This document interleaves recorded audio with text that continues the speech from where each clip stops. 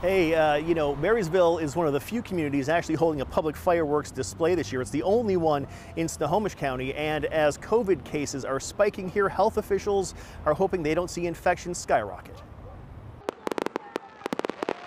The show is going on in Marysville. Last year's 4th of July celebration was the first in a century. It was so successful, leaders almost immediately planned to do it again.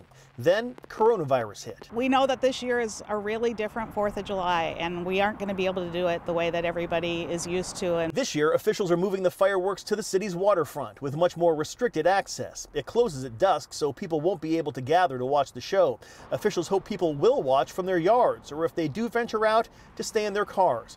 Part of the reason the show is going on is it's already been planned and paid for, but COVID case rates in Snohomish County have doubled just since June, leading the county's top health official to warn we are in a very precarious situation. Is this a responsible thing to do?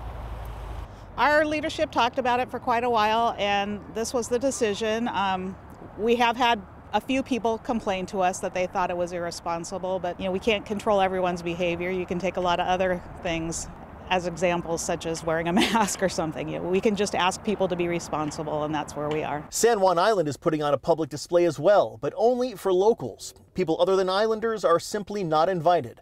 While the 4th of July is the biggest day of the year in Friday Harbor and money is desperately needed, tourism officials say it just isn't safe to allow people in.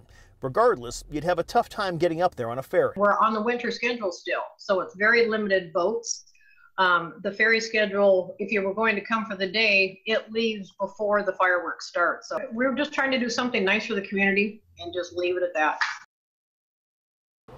Back here in Marysville, the city actually paid for fireworks that'll go about 100 feet higher in the air so that uh, people can see them from farther away. And we're also told that there will be police down along the waterfront gently nudging people along, making sure that they don't congregate.